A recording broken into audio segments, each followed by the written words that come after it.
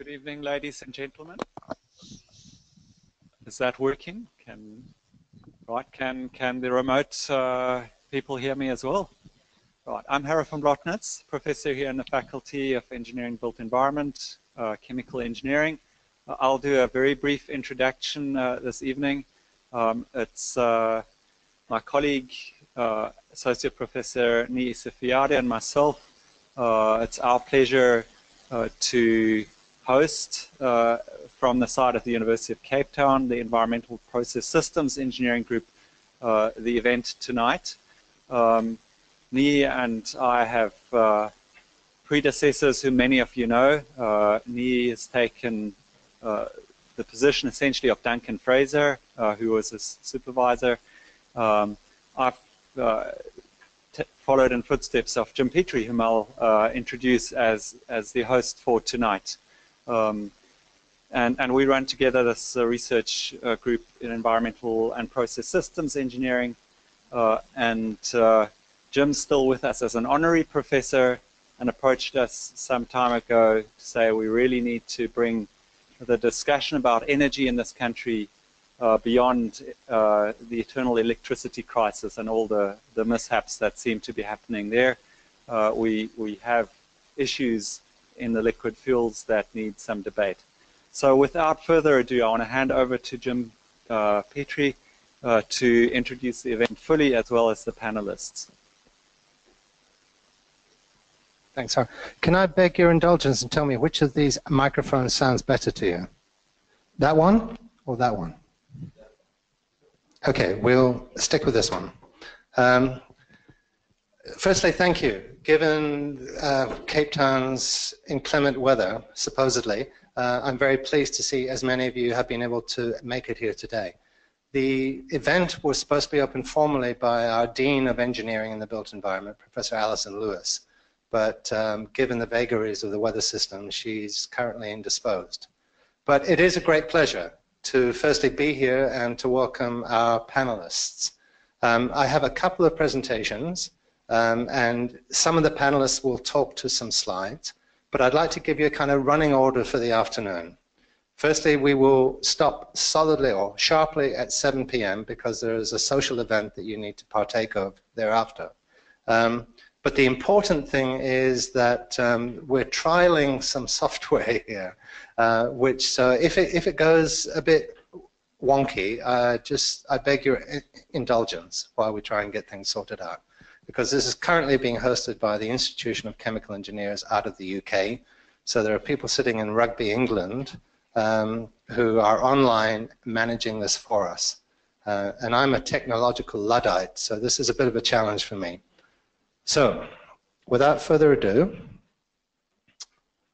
I'd like to give you the running order for this evening. So, this is part of a global conversation uh, which the IChemE has steered, um, and I will introduce our panelists just now. But the focus here is deliberately to look beyond the immediate challenges for the sector and to pose some serious questions about where we're going to be in anywhere up to 25 years.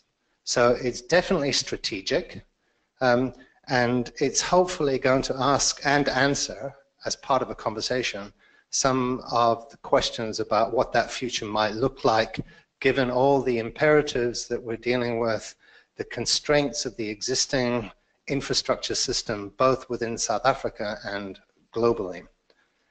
I did say it's part of a global conversation, and I will introduce Steph Simons just now, but Steph will give you the context for where this came and the workshops that have been held preceding this and where we would like to go thereafter. And it's about trying to understand the key constraints that we operate under currently, but to envision a future for this sector, which, as I said, addresses those constraints and looks critically at vital opportunities for the survival of the sector as a whole. So we've got a very illustrious team of presenters here. And I'm going to, they've chosen deliberately not to sit in order as I asked them to, but um, I'm going to ask them now to put up their hands so you can at least put a face to a name. Professor Steph Simons, who is the chair of the IChemE Energy Center. Um, and that is an entity that sits within a professional body of some more than 40 odd thousand members in 120 countries. So it really is a critical intellectual cohort of chemical engineers that drive serious debate about a whole host of issues. And within the Energy Center, the future of oil and gas is one of those. Dave Wright. So Dave is the Secretary General of the South African National Energy As Association, um, which has been a stellar body in stimulating debate about critical issues for the energy sector as a whole. Uh, Sean Johnson. Sean is from the Petroleum Agency of South Africa and is going to share with us some thoughts about the upstream challenges. Niall Kramer. Niall's the CEO of the South African Oil and Gas Alliance, which carries an interesting mandate between upstream and midstream. And there are some serious challenges and opportunities in that space. Kevin Baart, who hopefully is online somewhere, is going to dial in remotely uh, and share with us uh, the view of SAPIA, the South African Petroleum Industry Association which is a trade association of refiners and off-takers, uh, and again has a very powerful position within the overall value chain of the South African oil and gas sector. Ian Baxter. Um, Ian is an independent person here today. Well, hopefully there are more than one independent people here today, but Ian is going to talk to us as an expert from the refining perspective. Um, and if you challenge him after the forum, he might be able to share a bit more about his background. Rod Crompton, uh, who some of you may know, is the ex-NERSA regulator for hydrocarbons, now in the academic stroke private consulting space. And he, if you keep your fingers crossed, is going to dial in from Sierra Leone this afternoon, um, pending their sort of internet availability. And our final presenter today is Grové Steyn, who's from Meridian Economics, and Grové's company has been instrumental in looking at the whole, uh, I guess, the, the conflicting challenges of business development and regulation across the whole oil and gas space. Um, and hopefully he will share with us some of the exciting developments in that, but also projecting a bit further forward as to um, where we might choose to go. Now, this is an area that I'm completely unfamiliar with, but apparently we can tweet from here. Um, so those of you who are active Twitterers or tweeters, there are a number of hashtags that have been developed by IChemE, um, and there are two um, Twitter accounts that you can tweet to, and I'm assured that there are people on the other end of these accounts who are going to retweet them. So hopefully by the end of the evening, Donald Trump will have a very good idea of what we're up to about oil and gas in South Africa. As to the program itself, oh, I was going to welcome uh, uh, Professor Lewis, but I'm actually going to then hand over immediately to Steph, who I said is going to put this in context. We're going to run fairly rapidly through some short, sharp presentations from individuals on our panel. We will then reflect on what we've heard, and I would invite comments from the floor at that point that are points of clarification.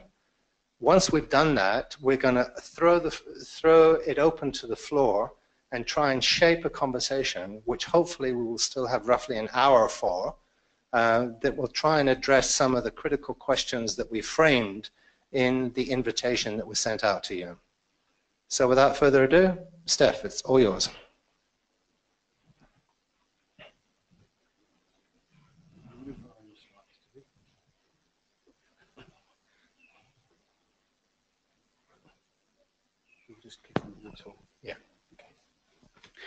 Okay, thank you, Jim. Um, and uh, good evening, everyone. Um, it's an enormous pleasure for me to be here, uh, an honour to be here at the University of Cape Town. Um, I have a lot of connections with this university over the years, but I've never had the chance to come and visit. So I, I thank Jim for inviting me and it's my first visit to South Africa as well, so it's, it's uh, been great. I did bring the, the British summer weather with me, so I'm, I'm, uh, I'm glad that uh, you're enjoying that. Um, it's exactly the same in the UK at the moment. Trees are coming down, uh, lots of lots of rain. It's very windy. My wife's told me today it's freezing cold, and that's our summer. So um, okay, and um, you can tell I'm the, from the UK because I'm wearing a tie. Um, so spot spot the Brit. Um, great. So uh, I just want to give us a little bit of context of how we got here uh, to this event today and hopefully we'll only take about 10 minutes. Um, as Jim uh, said, I'm from uh, the IChemE Energy Centre. That's uh, a, a, group that's run by members, as many of the groups are from, from the IChemE. So it's a voluntary uh, uh, organisation. We put our own uh, private time in, into to running the centre.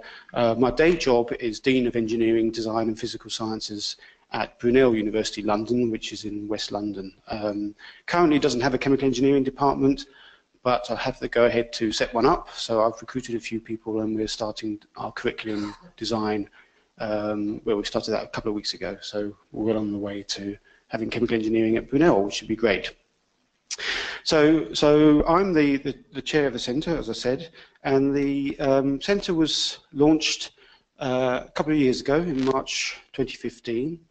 Um, it was launched at a, an event that was screened from uh, at the same time from London, Brisbane, and Kuala Lumpur.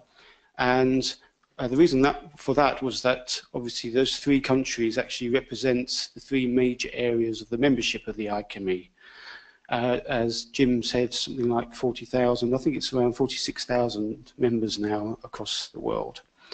And uh, it was set up as a result of a survey that we had of our membership, uh, and the members uh, thought that it would be a very good idea that we had a, a body that would provide a coherent voice for chemical engineers worldwide on energy-related issues and provide evidence-based chemical engineering perspectives on global energy challenges to um, policy decision makers and other stakeholders. So that's that's our remit, and um, there, you've got all sorts of uh, ways of contacting us. I don't know how to tweet either, so uh, um, I'm a luddite as, as like Jim.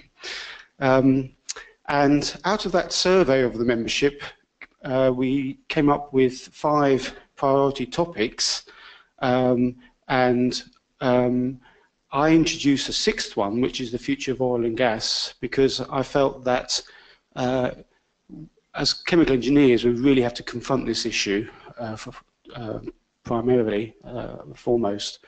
And um, so the future of oil and gas was, was added to the list, and actually it's been the most successful topic that we've been discussing around the world because it engages so, so many of our members. So many of our members are involved in that industry, and of course chemical engineering came out of, of the petrochemical industry. So um, it's, it's, it's uh, makes sense that we have that as a priority topic.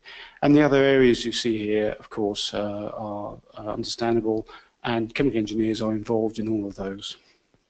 So our objectives are to engage not only with our members, but with other key stakeholders and government bodies in informed debate over the, those priority areas that I've just shown you, um, and to influence um, such people in policy development, energy policy development.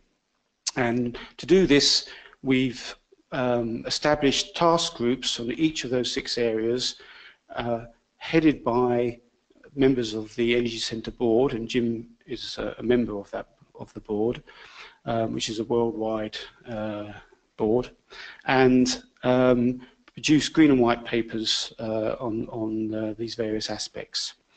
But of course, um, although the IChemE's headquarters are in the UK, we are an international body and we need to make sure that we speak and have a voice internationally and we need to recognise the regional as well as global perspectives and this is why this event is, is so important to us um, because we recognise that uh, different regions have different views on, on all of these areas. So to have a voice, we need to stand up and, and be heard, of course, and this is an example of a, a press release that I'm very proud actually of the IChemE because we, we, we actually were ready for, for Trump. And uh, uh, we're one of the first to come out with our press release. Um, this is just a screenshot of, of the uh, IChemE website where you can find the, the statement that I made on behalf of the Energy Centre, there's only part of it here, um, and that got quite a lot of media attention actually. So um, that's the kind of thing that we, we like to do, to be ready for, for those kind of um, major announcements that uh, come up now and again. And we also were involved actually with COP21. Um, I don't know if any of you have been, I know Harro has, but uh, to these uh, COP meetings. But um, apart from the central negotiations, you have a whole series of side events going on. And um, at COP21, we had um, what was regarded as one of the most successful side events. We had 300 people, standing room only, coming to uh, see presentations by engineers talking about the technology um, solutions that are out there to mitigate climate change. And the comments that we were getting were, was there was not enough discussion at COP21 about how we can actually achieve um, emission reductions and climate change mitigation. So we published um, uh, this report in the TCE, the, the, chemical engineer, after the event, of course, and you, and, um, you probably can't read read that now because it's quite small text, but it, it basically says that we feel as chemical engineers that we we have the technologies available to us now to to um, work towards the two degree or one and a half degree target. Um, but what we need is a systems approach, and uh, and we need to start implementing right now. And, and you can see one of these um, uh, subtitles actually talks about the future of oil and gas, because uh, we talked about that at COP21 as well in the context of climate change. So uh, to, to bring us back to the future of oil and gas, we've set out to formulate a considered view um, of the future of oil and gas in the global energy mix. And we're doing that by um, having um, uh, this, this, series of panel debates across the world on the future of oil and gas, and out of that we're going to, to develop a report uh, really highlighting the regional differences and, and similarities actually that the industry faces. And as I said, we've set up a task group to uh, help us uh, do that, which is um, headed by one of our board members.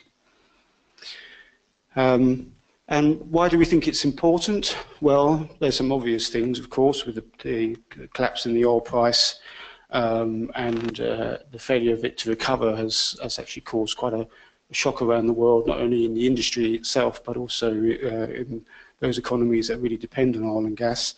Um, and this is, has led to questions being asked and the business models of big oil being, being challenged.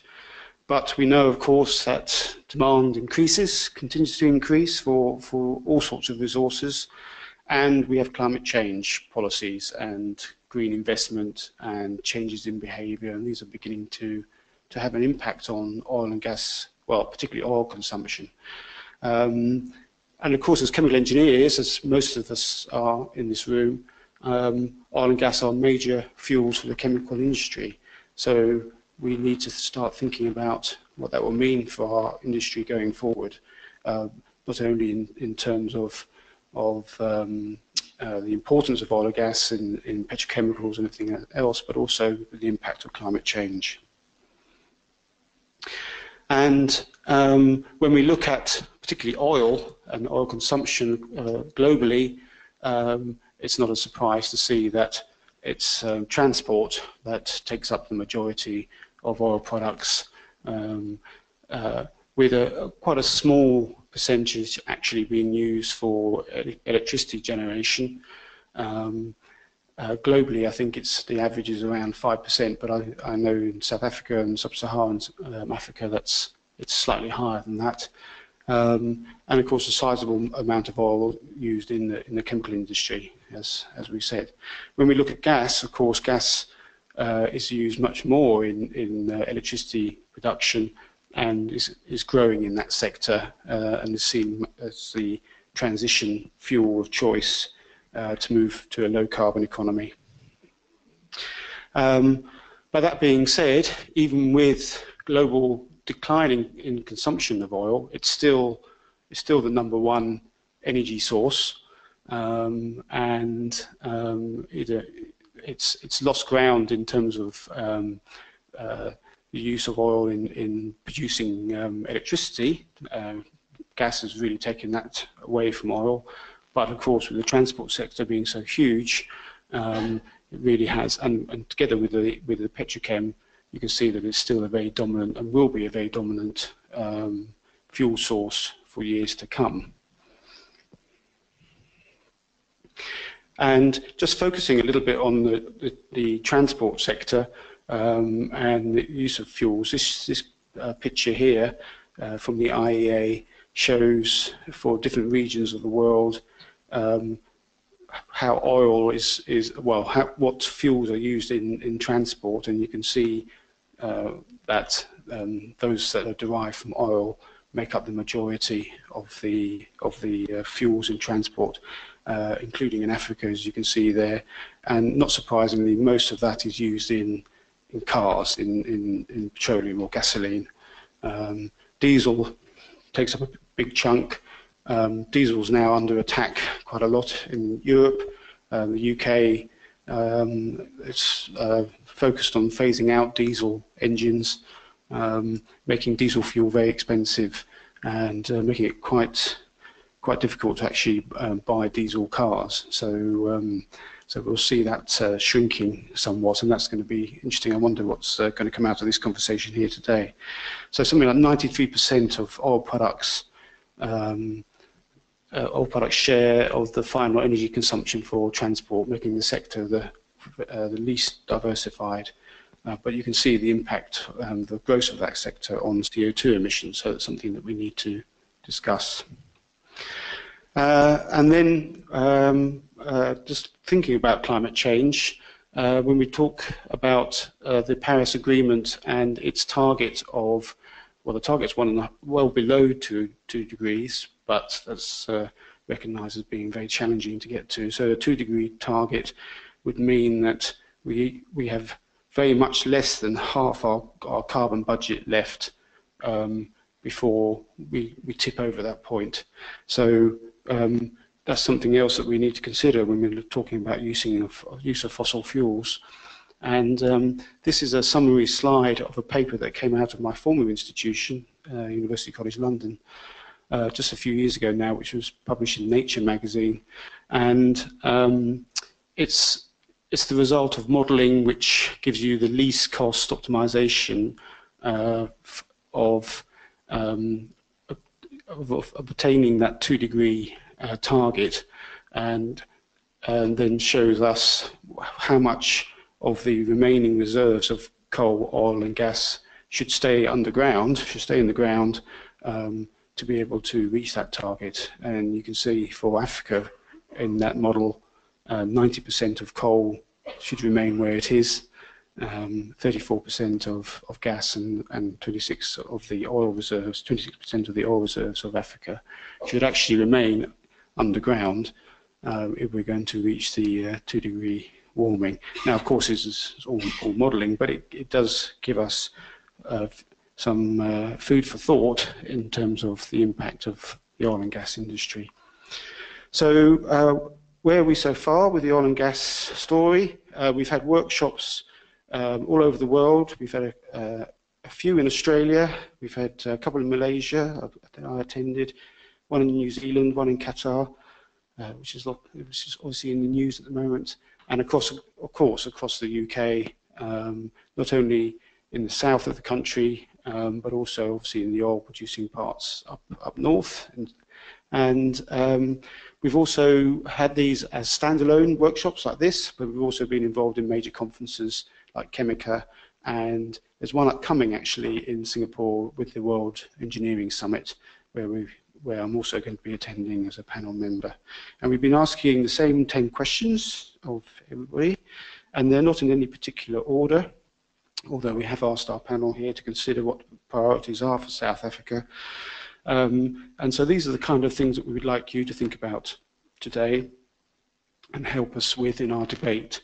And um, it's, it's, not surprising that they, the answers we get are very regional. So, for instance, with the first question here, is the oil and gas industry in decline? Well, the answer might be yes in the UK, but I'm sure here the answer will probably be no. Um, but you know, there, there is consideration about the kind of business models you need to look at in the future. Um, what's going to be the impact of electrification of of of transport, um, and um, uh, should there be major investment in the chemical industry, petrochemical industry, for instance. So um, I, would like you to um, obviously help us today with these kind of questions, and I'm sure the panelists are going to address some of these themselves. And um, if you'd like to be part of the Energy Centre, then please uh, email us um, because we, we have two fora. One is we call the Leadership Forum, which is for energy experts to help us with our priority tasks. And we also have a, um, a future energy leaders forum, which is for the students and the, those young engineers that have graduated and, and finding themselves in the in energy related industry.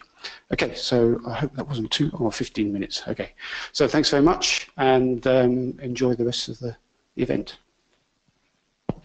And thank you, Steph. Uh, I would like to point out one uh, error in his presentation.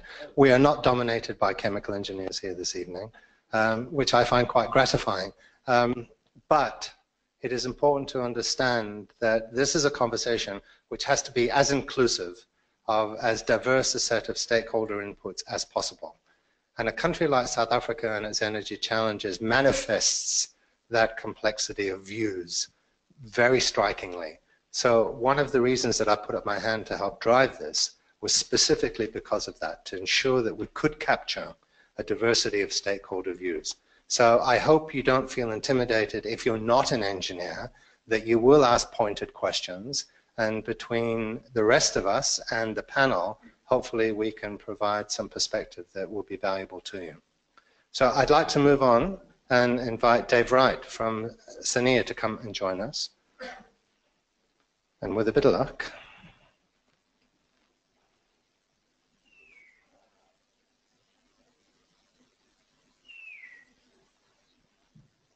There we go. Dave, over to you.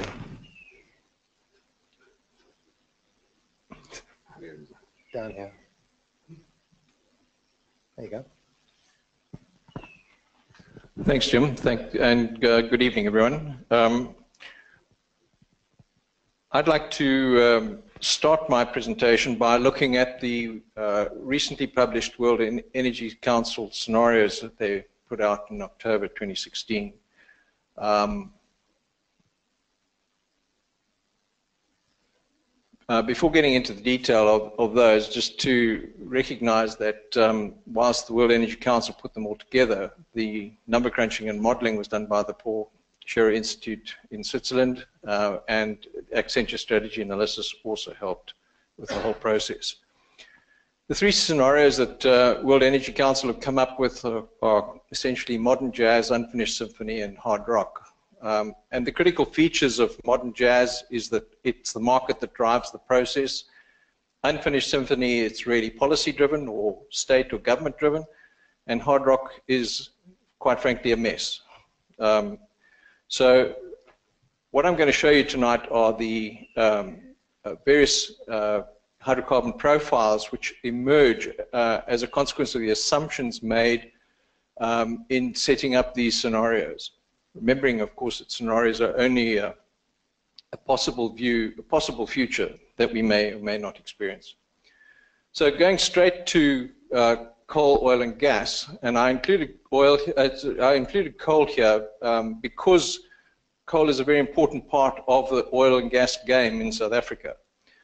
And you can see that the um, uh, coal demand uh, peaks uh, quite, quite early in the game and diminishes with, um, with uh, modern jazz and unfinished symphony, but it sort of trottles, trottles along as business as usual, as it were, um, in, in the uh, hard rock uh, setup. From an oil demand perspective, you'll see that the peak occurs around about 2030 for both the uh, um, uh, modern jazz and, and, unfinished symphony, um, whereas um, the hard rock um, plateaus. Um, in the in all three scenarios, the gas profile is just onwards and upwards. So um, that's the global picture, and the, the, the the question is to ask um, what does that look like for something close to home? And um, unfortunately, the scenarios haven't been done for South Africa, but they have been done for uh, sub-Saharan Africa. And you can see that the profiles are very different uh, for sub-Saharan Africa. Um, you can see that the coal uh, demand is, is quite different. You see that the unfinished symphony one drives down the coal demand, whereas um, modern jazz, which is market-driven, pushes it up and uh, hard rock also pushes it up. But the oil and gas profiles are both upwards and onwards for all of the scenarios, which suggests then, or begs the question, I think, you know, where then for South Africa uh, will we will our futures potentially look like? Just as a, an aside, um, given the, the focus on the two degrees issue, the modeling uh, shows that none of the scenarios actually allow uh, or will achieve the two, two degree option. Uh, the dotted line is the two degree target, um, and that's for the globe, um, and that's what the emissions would do for, for, Afri for sub-Saharan Africa. Um, and those, that profile that you're seeing there shouldn't surprise you if you looked at the profile of the use of the hydrocarbons uh, in the scenarios. So I'd like to just end um, my discussion on the scenarios at that point and, and, stand back and say, well, what does this mean for South Africa? Um, and, and, like so many things in South Africa, I suggest it's going to be a combination of the two. I think we're going to see some of the uh, uh, trajectory that we see on a global basis, and we're going to see uh, the, the, some of the trajectory that we're seeing or anticipating for sub-Saharan Africa. Um, I think that um, the, the, oil demand will go through a peak, whether it's at 2030 or whether it's later. I suspect it will be later. Um, and what I suggest what's going to drive that is the, uh, the penetration of electric vehicles. Um, and how quickly we get electric vehicles into the system uh, will, I think, affect the, the, the, the, oil demand side of things. We must also take into account that the average age of vehicles in South Africa is actually quite long. It's like 11 to 13 years. So the, the transformation process won't happen instantaneously. It will take time. Um, the question that then arises in my mind is what do we do with the existing refineries and do we need a new one? Um, if the decrease in demand on a global basis is um, is greater than it is in sub-Saharan Africa, then um, the question for me that arises is, will sub-Saharan Africa and South Africa become a focus area for selling oil? Uh, if we are still we have a greater demand for oil, are we going to be an attractive market for people who have crude oil? So will that mean that crude oil producers will want to buy our refineries, or will they want to put up refineries here? I don't know, but I think we need to, th to think about that. Um, the, the other thing that comes into the game here is what's happening to the African crude refiners, if, uh, crude producers. If they want to stay in business, they, they should really try and get their crude sold in Southern Africa, Sub-Saharan Africa and look to sell crude in South Africa because the, the rest of their market is collapsing uh, around them. And I, look, I'm talking in the 20, 30 plus years time. So I'm, I'm not talking tomorrow. If you look at the, the, the, the short-term stuff, it's all onwards and upwards up to a point. But if we, and we all know that the, the transition process in these industries takes time. And we need to start thinking about that. So questions that we've talked about what the impact might be on the refineries. If we get a whole fleet of electric vehicles into the system, the question then begins to ask what's happening to the retail industry. Um, so I think there's quite a lot of thinking that needs to be or should be happening within the, the oil industry right now about what's going to happen. I doubt we'll see any more new coal to liquid plants because they're both too expensive and uh, they have the CO2 effect. And that then, to me, begs the question, what impact is that going to have on our petchem industry? Because if you look at our petroleum, uh, petrochemical industry in South Africa, it's essentially coal-based. So are we not going to have a petchem industry in 20 or 30 years' time? I hope not. Uh, that has a significant impact on all sorts of features of, of the South African setup. From a gas point of view, um, clearly gas is going to play a very much more important role. Unfortunately, we don't seem to have a resource of our own at the moment in the country. Um, if we get a resource, uh, I think it'll be even better. But you can see the profiles, whether it's global or whether it's um, sub-Saharan Africa, it's all upwards and onwards. So, um, yeah, I think the situation is where um, on the gas side it looks good. On the oil side, I think we've got to be thinking quite carefully about what we're going to do.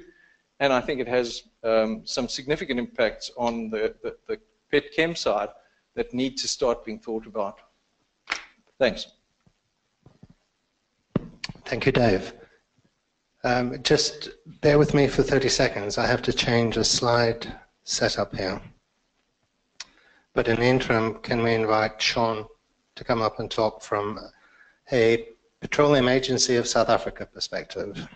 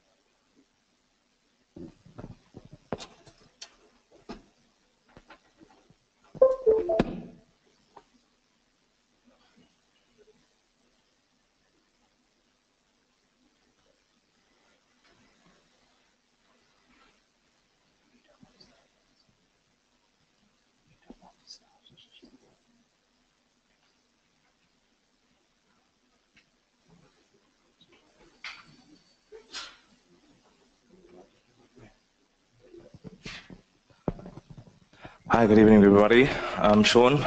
Jim, thank you very much for this opportunity um, to be talking about exploration in South Africa. Um, I was going to talk this off the top of my head, but I thought that it wouldn't make sense to some of you or many of you who don't actually know what is happening in South Africa, both on and offshore. Um, so here's a map. Um, this is a, a, popular map. You can get this off the Petroleum Agency's website, should you be interested and it shows quite a lot of information. Um, I want to start by talking about the offshore. Uh, does someone have a, do you have a gnostic? I'll try using the mouse. So what we see in the offshore here is all these red lines indicate uh, seismic surveys that have been shot. Um, and this has been done since um, since about the mid 60s, late 60s all the way through to the 90s. And then more recently, in the last five to 10 years, we've had new technologies and, and also seismic um, to understand the deeper parts of um, our continental margin. So in the older days in Soekor, most of the data focused on, on the continental shelf. Um, that has now progressively moved on to, to the deeper areas. Um, we've got about over 220,000 line kilometers of seismic data there, and we've got a very um, specialized team of geoscientists working on that. So the question I would like to start off um, is then what do we already know in terms of data? Where are we now? Um, We've also got um, a number of wells that were drilled on the west coast. There are about 40 wells that were drilled in Soekor's days, also between the 70s and the 90s. And there's been success in terms of uh, discovery of oil in the AJ Graben. Uh, this is near the shore. And then also most of you will be familiar with the Ibhubesi gas field. And there's also the Kudu gas field just north of South Africa in Namibia. In the south coast, the very popular FA gas field, which is now depleted, that platform operated for approximately 20 years of just less than 1 trillion cubic feet of gas. Um, We've also got four wells drilled on the east coast. Um, nothing major at this time, but as you can see, there's a vast amount of interest in that 100% of South Africa's offshore is now either licensed for exploration or it's under application. so some of you would also know that in the media, you see South Africa has low oil potential, low gas potential. Um, but this tells us that that is not necessarily correct. From all of this data, what we do know is that there are active petroleum systems on South Africa's western margin, definitely on the southern margin, and potentially on the eastern margin. And this is where the concentration is focused at this point in time, on the eastern margin. Um, moving to the onshore, uh, everybody would know about shale gas applications that was made by Shell in late 2009. Um, what do we know? Um, the data, the seismic data that was acquired there is actually very poor. Uh, it cannot be used for identifying prospects or, or, or any reservoir level work. Uh, but it does give us a big picture and understanding of the regional geology, and that's about the limits of that. Soekor drilled about 40 wells in the Karoo. Um, at that time, Soekor focused on oil, so that wasn't gas. And the data they acquired doesn't really help us a lot understanding shale gas potential. What it does tell us is it tells us about the gas generation potential or oil generation potential. So we know what the generation potential is. We've got a very mature source up there. Um, but we don't yet understand uh, the preservation for gas in the shale. So that is where we are at the moment. Um, in the northern, northeastern part of the country, everybody knows that these are all the coal fields. Uh, there's a, a, a, lot of interest for, for coal bed methane. In fact, a number of discoveries have been made. Um, most of you will be familiar with uh, the Waterberg, now called the Lephalale play. Um, that is operated by Anglo Thermal Coal. They've been running five spot tests there since about 2004, and um, they were flowing gas for about 10 years or so. But uh, through the environmental constraints and regulatory issues, they were forced to stop. Um, we know that there are discoveries uh, from recent exploration done in the Mapani, Mopani area. Um, we also know that they are recently, and you can verify this on the Kinetiko website. Uh, they've publicized their, their exploration results. Uh, they've discovered what we call a hybrid play. They've discovered gas in both sands and in the coal. So we know um, there's definitely potential there, and they've actually disclosed contingent resources. as far as the remainder of the crew is concerned, um, historically, and the Petroleum Agency is busy at this point in time in putting together a very reasonable map of showing all the oil and gas shows that we have across South Africa. And this, um, this compilation will include records from the late 1800s that we've been able to discover and uncover, as well as um, a lot of the information you're seeing here, and also the recent discoveries. So what are the challenges? Um, from an oil and gas point of view, I'd, I'd want to move to the next question in trying to answer that by saying the following. Um, I was asked what is a realistic time frame from petroleum agency perspective for both on and offshore exploration, given the assumptions that the regulatory the regulations are clear out. I'd like to answer this by saying that that would depend on industry's response. Now, for, for those who are economists, oil and gas, uh, energy economists, would know that the two key players in oil and gas, in the oil and gas business, are the government and the private operator. And private company uh, would have the objectives of making profit, whereas the government would have the objectives of extracting revenue from, from, from, from the mining of their resources in order to improve the, the well-being of the citizens. But what needs to happen is that there needs to be a partnership. If there is no partnership, there won't be a balance and exploration and production won't happen. So from the challenges that we're facing now is they are both technical challenges, but they are also higher level challenges that we're dealing with. Um, if I may, just one more. There's been a lot of there's been a lot of debate about hydraulic fracturing in the Karoo, and I don't want to go into that conversation in too much detail because it's not my area of specialization. But what I can say this is that currently the exploration right is three years and it's renewable for three times for two years. So that's a total of nine years in which an oil and gas company can undertake exploration. Given the cost of horizontal drilling, given the cost and the challenges for fracking, it is most likely that the fracking part won't take place anywhere early in the exploration life cycle.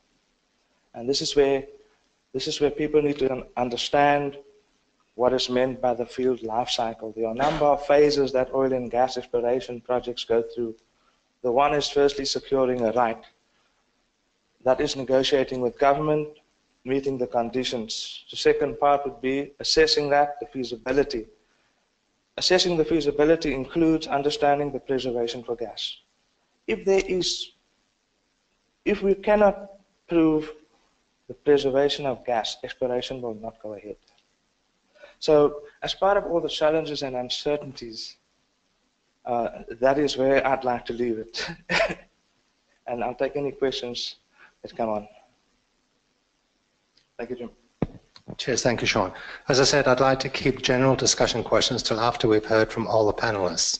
But I think it was important to reflect very quickly on where we are in terms of the regulatory systems and government policy and the aspirations that we're hearing from the commercial sector and how one unf unfolds or rather enfolds all of that into a serious conversation about long-term sustainability futures. And with that, Niall, would you care to share your views with us, please?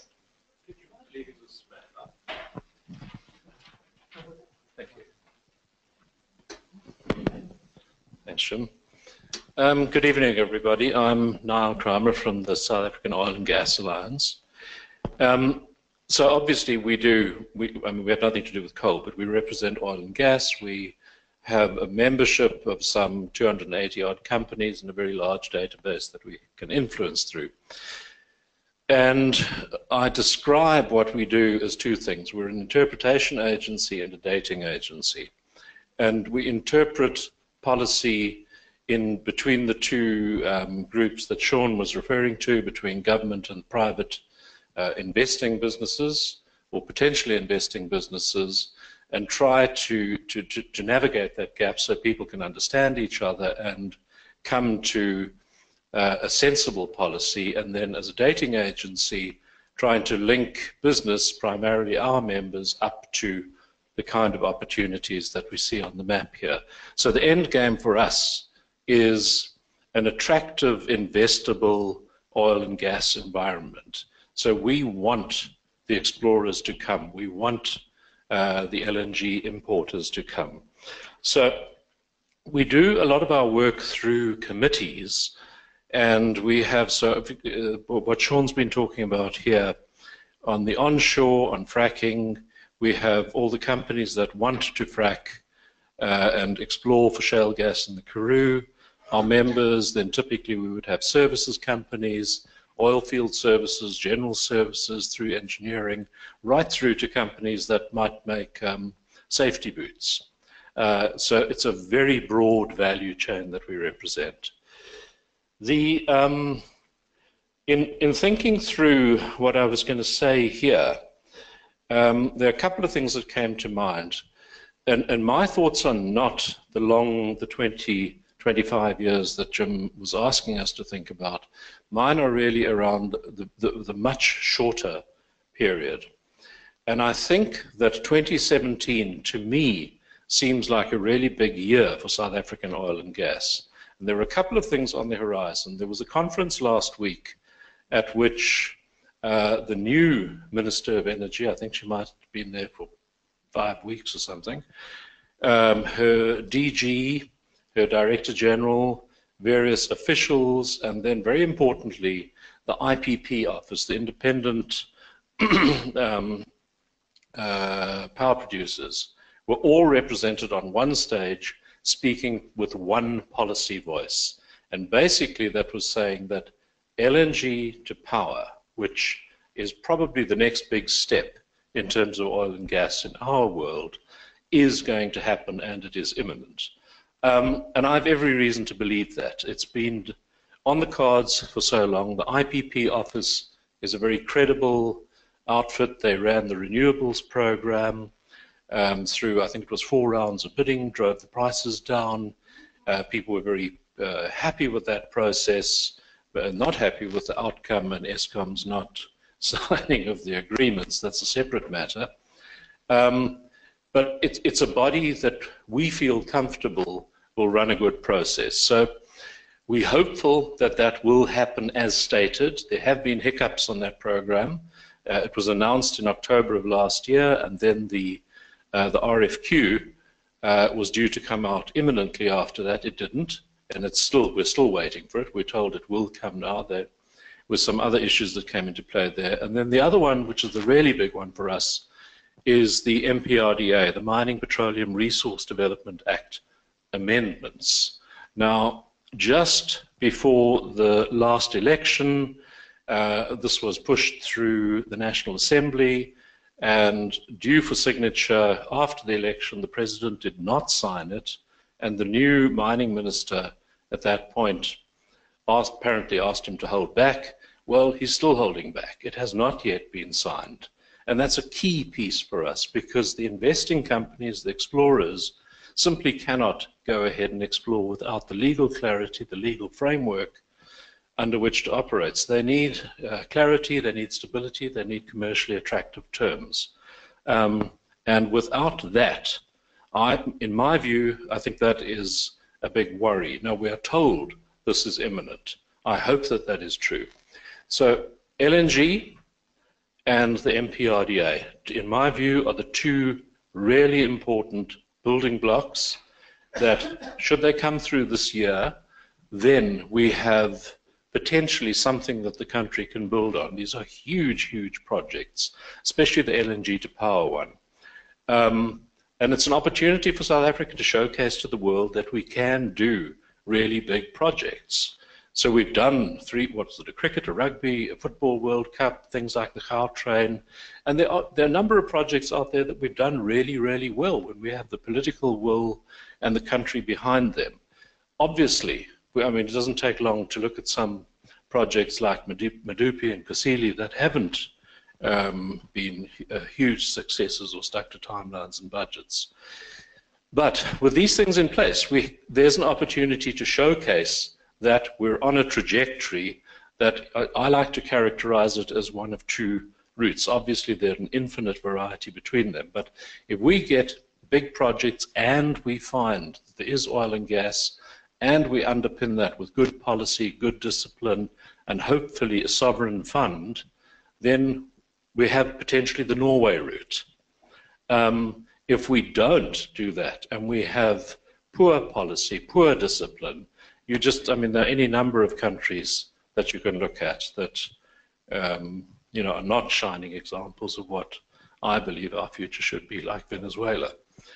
Um, so that's that. That's a little bit about the background. I think that there are. Are you walking towards me? Because I must hurry up, or? Oh, all right. I've, I've got four things that I wanted to touch on, um, and in view of Jim's uh, shuffling around behind me, I'm going to start at the end. Uh, and, and that was that uh, the thing I think we need most is a shared concrete vision of what the future could be for oil and gas in South Africa. And we have a, a multiplicity of government departments, many different policies.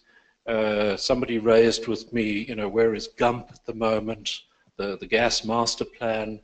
Um, and we need more unity, a more concrete vision of what that future could be in oil and gas. And it's very, I find it really difficult to create that vision because we don't come from an oil and gas jurisdiction. We have not had in South Africa oil and gas. So we have lots of anecdotes, lots of pictures on Facebook, and so on. But we don't have this, the we, we don't look around us and see activity or uh, we're not all aware of, for example, how gas can be used. Um, the other things I wanted to touch on was capacity development, and that's this whole issue of are we in fact ready for an oil and gas economy? And the kind of skills that we are going to need, the kind of business readiness to participate in that value chain, clearly needs a lot of work. We do uh, quite a bit of that work in skills development, mainly uh, blue collar people, artisan development, technician development, um, but the kind of jump that we're going to need in the real skills when an oil and gas economy comes along is going to be quite serious. It's, it'll be a big, big jump, as will the necessity for focus on discipline, especially around health and safety. The safety issues on an oil rig or in an oil uh, or a gas rig are, in, from what I've seen, way in excess of what we currently are able to exhibit in South Africa. So um, the reason I asked for this map to be left up here was I, find it quite an inspiring picture because if you look beyond uh, up the west coast there, all of these markets, Equatorial Guinea, Gabon, Angola, Nigeria, all with proven oil reserves. If you go up the east coast, Tanzania, Mozambique, uh, Kenya, Uganda, uh, certainly in the, in the Mozambique, Tanzania case, some of the biggest gas finds in history up there. Now, all of this uh, acreage around the coast and onshore that's demarcated by these blocks has been, it's under interest of some kind by commercial operators. And it's critical that we get the MPRDA over the line in attractive, stable terms so that people could take an interest and actually get out there and do some exploration. Yes, the price is an issue. Um, it has, it's trending up over, what was last year, 2016. Year uh, from January to January, the price went up steadily over 50%. It's hovering around 50. It's been toying with 55 dollars a barrel at the moment. Um, so let's assume that goes up. We get the MPRDA, the, the, the, the reputable explorers come in. That is what is going to cause the economic growth, create the wherewithal that could be spread across the economy. Um, uh, sorry, across the population. The, the other piece in that is the importation of LNG through the three ports that have been named are up on the far uh, your right-hand side, Richards Bay, down here to Coega, near Port Elizabeth, and then Saldanha Bay somewhere over here. Um, and the key piece for that, in our thinking, is that it brings in liquid natural gas. It drives large-scale developments, especially around the ports, uh, and that kickstarts a gas economy. If, uh, as Sean is saying, nine years down the line, we find some uh, indigenous gas, whether it's offshore or onshore, then we have a feedstock that an indigenous gas economy could run off that's no longer uh, dollar exposed. So I'm, I'm starting to feel somebody shuffling around behind me, so I think I'm going to stop over here. Jim, thank you. Cheers. Now we're going to try something different, and I'm hoping Kevin is on the other end of the line somewhere. Kevin, can you hear us? yes, I can. Hi, Fantastic. And, and we can hear you here. So without further ado, Kevin Baart, who's head of strategic projects for SAPIA, will share with us his view on sector challenges and hopefully the medium-term future from the perspective. Oh, oh uh, Kevin, it's over to you. Uh, thank you, Jim. Um, in terms of, let's say, the short term to the medium term, uh, apart from the transformation imperatives imposed upon us by government, uh, the major issues which we see are really uh, carbon tax and the carbon budget, uh, the one under the control of National Treasury and the one under the control of the Department of Environmental Affairs. Um, the other one is the implementation of Clean Fuels 2, uh, when that will happen. And, uh, and it's not an if it will happen, it's, a, it's rather when that will happen. And the other big issue, which is uh, which uh, we are tending to focus quite a lot on now, is the implementation of MARPOL Annex 6 in 2020. Uh, now, MARPOL Annex 6 is actually a the implementation of a sulfur cap on all bunker fuels of 0.5% uh, by weight. Uh, that is set to actually have major implications for the refining industry worldwide. Um, those really are the, are the three big issues which are which are affecting us in the short short term. Um, National Treasury has published a carbon tax bill, and we are in discussions with them around various aspects related to that.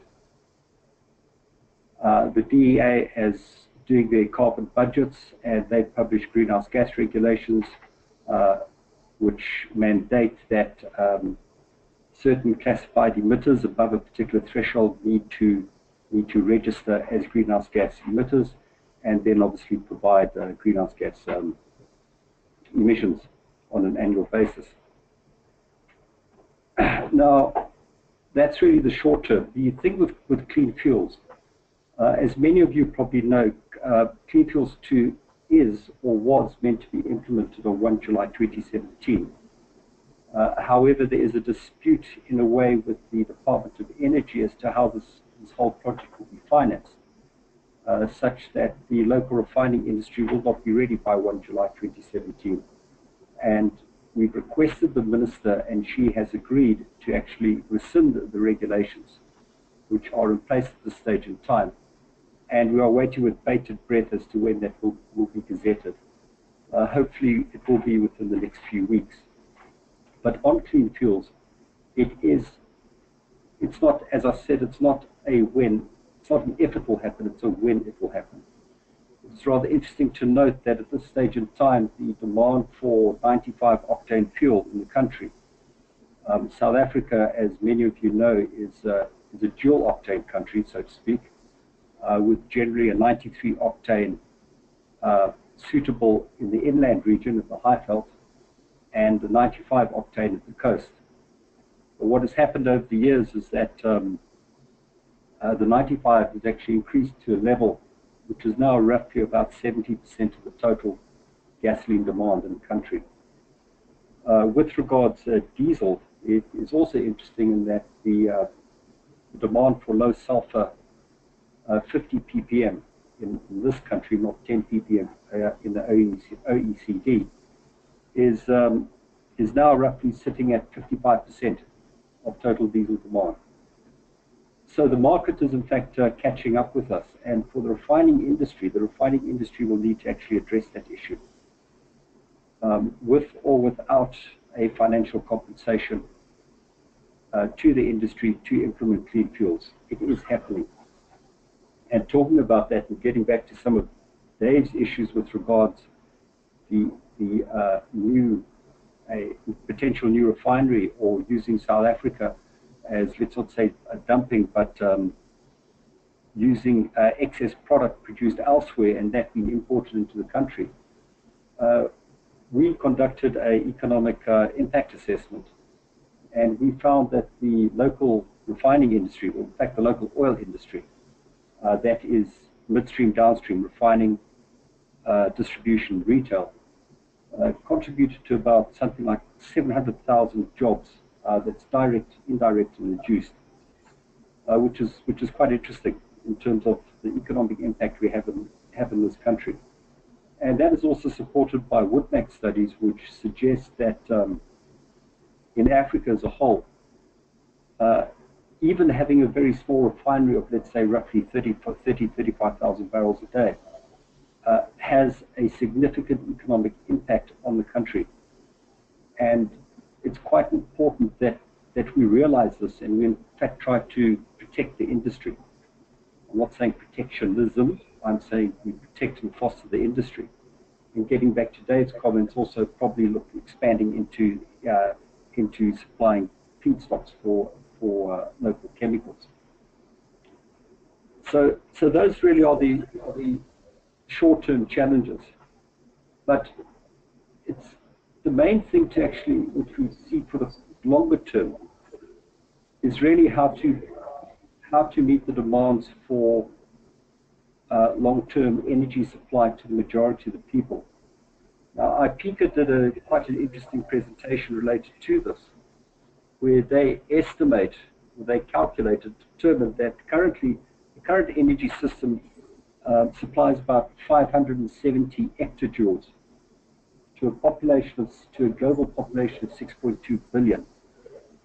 And the real challenge is to supply about a thousand exajoules to a population of 10 billion people uh, worldwide using modern energy and meeting the climate challenges which, uh, which affect us all. And the, and the major way in that, in that, in how that will be achieved, and this gets back to one of the questions posed, posed by the prof, on the importance of chemical engineers, is in fact improving e efficiency uh, in order to save energy and reduce greenhouse gas emissions. And it's that improvement of efficiency which will in fact uh, allow us to actually use energy more efficiently and make us all benefit. That's all I've got to say this, at this stage in time. Thank you. Sorry, excuse me. Thank you, Kevin, for that. Uh, hopefully you'll be able to stay online in case we've got some questions for you a bit later. That's um, no problem. All right. Ian, could you join us then and continue the conversation about the refining perspective, please? Thank you, Jim. Good evening, ladies and gentlemen. Um, good evening, Kevin. Um, I'm going to be talking about the refining industry. The Minister has recently reminded us of the fact that over the last few years, imports of fuel have risen. Uh, and this reopened the discussion of Project Mthombo, this was intended to be a new, large, high conversion refinery, first mooted by PetroSA a decade or so ago, um, to meet the local production shortfall as well as servicing other sub-Saharan African countries. New large projects are always exciting ventures to contemplate, and of course they, they employ chemical engineers.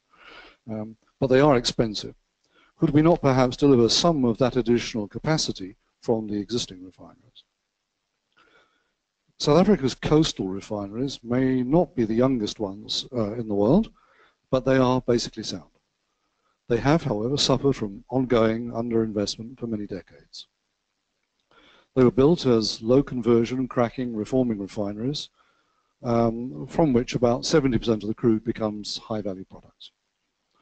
As fuel demand has risen, the country has chosen to import the shortfall rather than to invest to deliver more fuel from the same volume of crude. Now, how can this state of affairs arise? Refining capacity globally has outpaced fuel demand, meaning that high quality fuels are available from many geographically and politically diverse sources at competitive prices. Locally, the vertical fragmentation of the oil industry over the last two decades has led to an ever increasing number of independent importing wholesalers who import without having any obligation to outlay capital on refining or logistics capital. Capacity, rather. There is, in addition, no obligation on importing wholesalers to be sustainable or to try and source product from a local oil refiner. There are thus no long-term contracts in place which might support investment in higher conversion or additional refining capacity. And this has arisen basically from policy lassitude. There is not, and hasn't been for decades, any articulated strategy or policy linking refinery investment to government energy, employment, or foreign exchange objectives.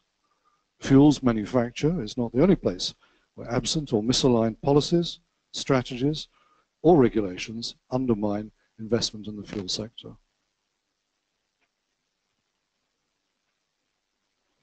Viewed from a macroeconomic perspective, the investment in new refineries, greenfield, what the engineers would call a greenfield refinery, Project Mthombo was intended to be one, um, is likely only to deliver an acceptable return to its investors if it's necessary to add value to low value or captive crude, or if there's sufficient local fuel demand to justify large capacity, if there's a geographical advantage driving product prices, or if there's vertical integration into petrochemicals.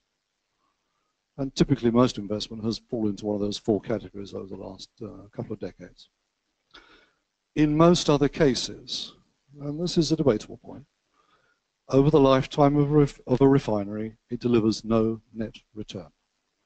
It's a necessary evil to turn unsaleable crude into merchantable high-quality products. But used refineries, brownfield operations, which employ more engineers than greenfield ones do, are a different matter. The current coastal refineries probably have a low book value. Some have been around for 60 years, some less than that. Re-establishing the original asset value by making brownfield investments to upgrade low-value products, such as marine fuel oil, may be expensive, but are technically straightforward, and the higher value products produced can deliver an acceptable return on investment by displacing fuel imports. Such projects can simultaneously deliver the clean fuels demanded by NAAMSA and increasingly the fuels marketplace. Uh, Kevin told us just now the CF2 deadline.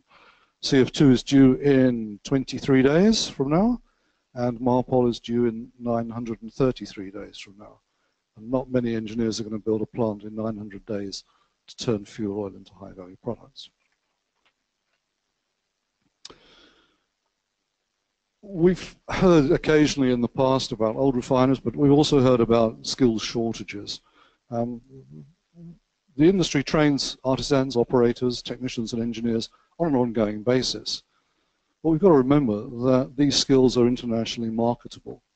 And with free mobility of labor, uh, we can train people up. But if we don't pay them the right money or give them the right T's and C's to stay here, then they'll go and find a job somewhere else in the world that pays well.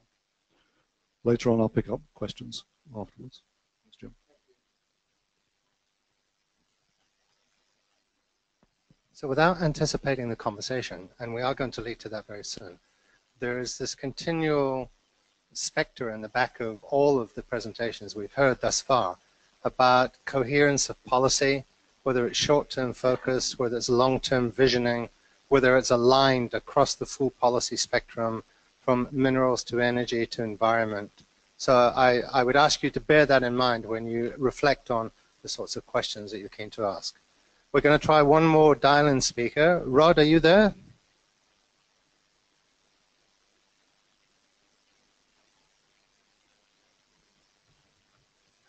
Uh, I should say, Rod Crompton's sitting in Sierra Leone today, um, and we did know that there could be a problem with him being able to join us.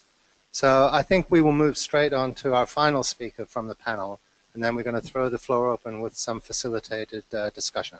So, Grové Steyn, over to you. That's better. Thank you, Jim. Um, there's been a lot of detailed input, which um, I probably won't re repeat. Um, I think what I'll do is I'll focus my comments perhaps on the slightly longer term questions and take a risk of doing some long term um, kind of gazing, which is, as I understand, the, the, the interest or the focus of the discussion today.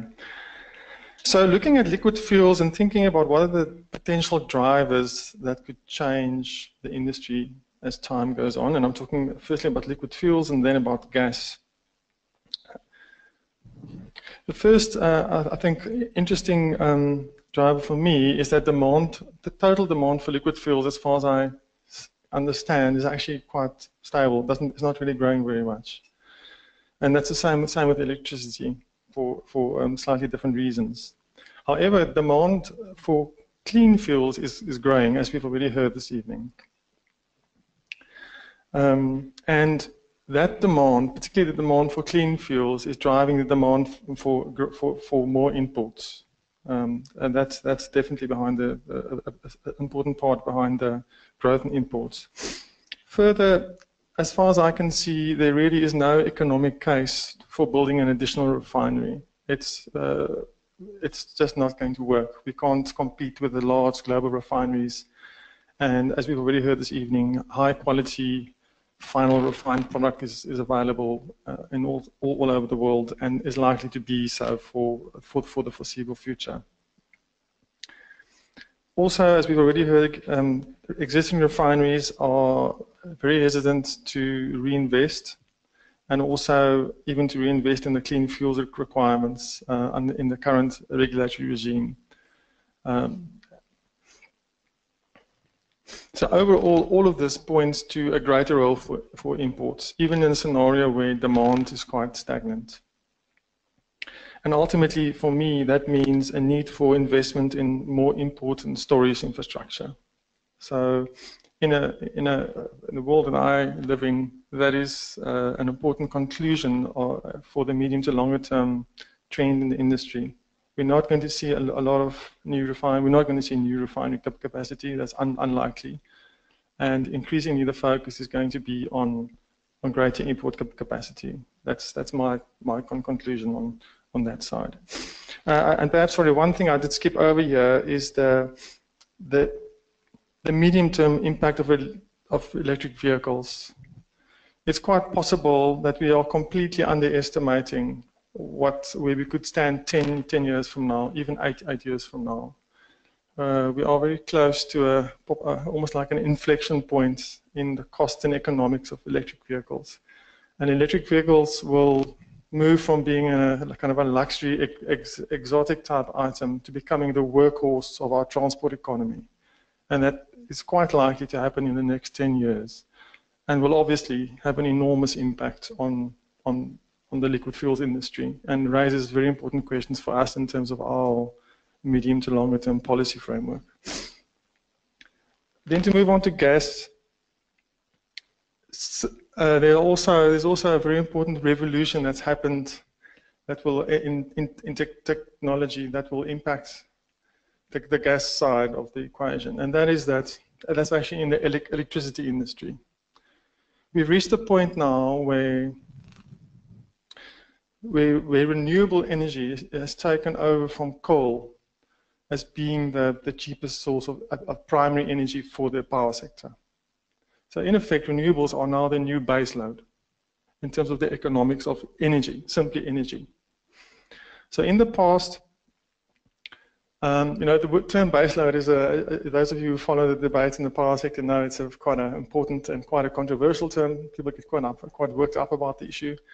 But in the past, you know, we, demand has always been, you have a, a, daily and a weekly and a monthly and an annual profile of demand. It's not flat. It changes all the, all the time as we speak. And the only reason we talk of baseload is because that was the cheapest way to produce power. You run a, a, coal, a large coal station or a nuclear plant or even a large hydro plant, you build it and you run it flat out. And obviously then you're going to have flat supply. So the reason why baseload was important is because that was the easiest way to produce cheap energy. That's why it was important. Not because it met demand. Demand wasn't flat. Demand varied. So then we also needed to make sure that we had plant on the system that could meet the delta, the difference between demand and, and the baseload. Right. So what's happened now is renewables have taken over that role and now provides the cheapest, can now provide the cheapest energy in the system. And again, there will be a mismatch between demand and supply. It's just another delta. It's just another curve. And we need dispatchable, flexible power that can meet that difference when we need it. And that now that power is more about capacity than it really is about energy. And that's the role of gas. Gas is now gas to power is now the cheapest way of meeting that difference between our cheap baseload energy and the actual demand on a half-hourly, you know, or instantaneous basis. That's and that's the important revolution that's happened that will now drive demand for, for gas power. So we all, those of you that follow the energy sector, the electricity sector, the debates knows that from the IRP modeling done by government and also by the CSIR have identified that that is the key role for, for, for gas and that's why we need gas. Um, some of you might have read the article by Michael Liebreich from Bloomberg New Energy who refers to the firm spread. That's the value of um, having dispatchable power over the cheap baseload power that, that, that will now be renewables. And that's, that's where gas will, will, fill, the, will fill the gap. And if, if that is the case, obviously we come to the question, well, how are we going to get our gas? And given that we don't have an, a local resource, the, it, it, again points to the question of building infrastructure. Either more pipeline infrastructure from neighboring countries, primarily Mozambique, or LNG import infrastructure. So those, in my mind, are the key drivers for, for, for the sector. Now turning to how we create an enabling environment for, for this infrastructure, whether it's um, liquid fuels import and storage infrastructure throughout the throughout the country, or whether it's gas import infrastructure. And um, so, so, I mean, I've just looking at two. I just thought of two key areas that we should talk about. Um, the one has already been touched on, and that is the regulatory and policy framework. I'm not going to talk about policy because some of that has already been addressed. I'll perhaps just talk a little bit about the challenges, the practical challenges of building um, building this infrastructure that we need. If you want to build an LNG plant, you need to navigate at least uh, three or four regulatory regimes. I mean, you need to get environmental approvals. You need to deal with the port's regulatory regime. Uh, if you're building it for gas to power, then well, then you also need to deal with the gas regulator and get all the approvals, which is NERSA. And then you also need to deal with a power regulator, which is also NERSA, but a completely separate legal framework and a, essentially a different set of people. And all of that has to align to make your project viable and bankable. And that creates a very high level of complexity, given that this is new. This hasn't been done in our, in our country before. I think I'll, I'll leave that there because we are running out of time. But then the next question is, well, if if those are the kind of challenges, you know, we have um, all the normal risks to developing projects, and then you also have, have all these quite complex and new regulatory challenges in, this, in the South African environment. What's, um, what commercial structure or what you know, approach to developing these projects would, would, would make most sense? I, ideally, I guess one wants to separate the enabling infrastructure from the energy itself, from the owners of the energy. In other words, if you um, you, you, don't necessarily want, because often um, infrastructure is, uh, becomes a natural monopoly. So the infrastructure providers are in, in, in the end in a, in a monopoly position. But you actually still want to enable competition in the provision of energy. So ideally one wants to separate them, whether it's on the electricity system where you want to separate your wires from the providers of energy, whether it's um, in, in, liquid fuels or gas or anywhere else. Now, th that is great in markets that are well established. So it is, we, we now see in South Africa merchant investors, new private sector investors that are building liquid fuel import terminals here in Cape Town Harbour, Burgan Cape, Cape terminals. They will not import fuel themselves. They are simply building a terminal and negotiating uh, agreements with importers and storage also with this, for the storage facility. And they're quite happy to do that. It's a well-established market. They understand the risks, and it can be done. The same is true for the Sunrise Energy project in Salt Saldanha. Again, they will not be owning the LPG. They will not be importing it. They build the infrastructure, and there's sufficient knowledge of the market for them to do that and then to sign up uh, medium-term contracts with large-scale aggregators and importers who will take that capacity risk on the basis of their trust in their own ability to be able to sell the product. So that model where you de-integrate the capacity providers from the energy players works in well-established markets. The question is, can it work for LNG, for instance, LNG to, to power? Particularly in a, in a situation where you have um, this high level of complexity around the regulatory regime and it being a new sector and demand side of the market not quite being well established and so forth. And that for me is, a, is actually an, an, open question. The only gas importation project we have in the country, as you know, is the, is the ROMPCO pipeline. It's a quite a large project. And essentially that was Sasol. So, I mean, what did we have there? We had a, a very large vertically integrated state, uh, which was a previously state, state monopoly, using all of its uh, market power and political clout to negotiate, to get two governments to negotiate an international agreement to enable, you know, a, a, a trans-border pipeline with all its risks, running deep into Mozambique, um, and put capital into the ground and build this project and have sufficient confidence in the ability to manage any unforeseen circumstances that will arise over the life of the project. So the question is, you know, what do we need for for the gas to power framework? Do, should we impose a, a, kind of a, I mean, a, a, kind of a model where we deintegrate the energy from the infrastructure, or is it actually should we start off by allowing the private sector to come and build their own vertical vertical integrated project and sell power and sell gas on the side? That's, I think that's an important question for me. Um, a last, perhaps further, a last further point is, given this level of complexity and risk, it's ultimately the viability of any type of infrastructure project like this lies in, in the market. It lies in the demand side. And it's really important to not think about policy from a supply side point of view, but to start at the demand. And, um, and the problem with this sector is that we don't quite yet understand the demand side very well. So it doesn't make sense for government to nominate that they want to have the project in Richards Bay and Coega and, and say not until Saldanha, for instance, is, is not the first priority right now? Or does it would it be better to say, look, we want we need this mass capacity on the system.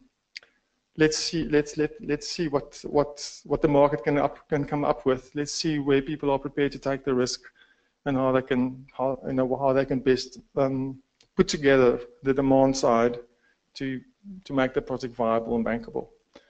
Thank you. That's my last comment. Great. Thank you, Grové. Um, as you will appreciate, we've run well over our expected time from the panel. Um, so I'd like to get involved in a conversation as, as quickly as possible. Um, and for those of you who are still sitting on our dialing system, you have the opportunity, obviously, to field questions by text. We will see them here and we will float them with the audience here as well. But be aware that any questions that we don't get around to answering this evening, which you have lodged by text, will be answered as part of the, of the final summary of these proceedings. And there will be a report issued as part of this conversation, which will be distributed to everyone who has registered either in person or remotely via the webinar.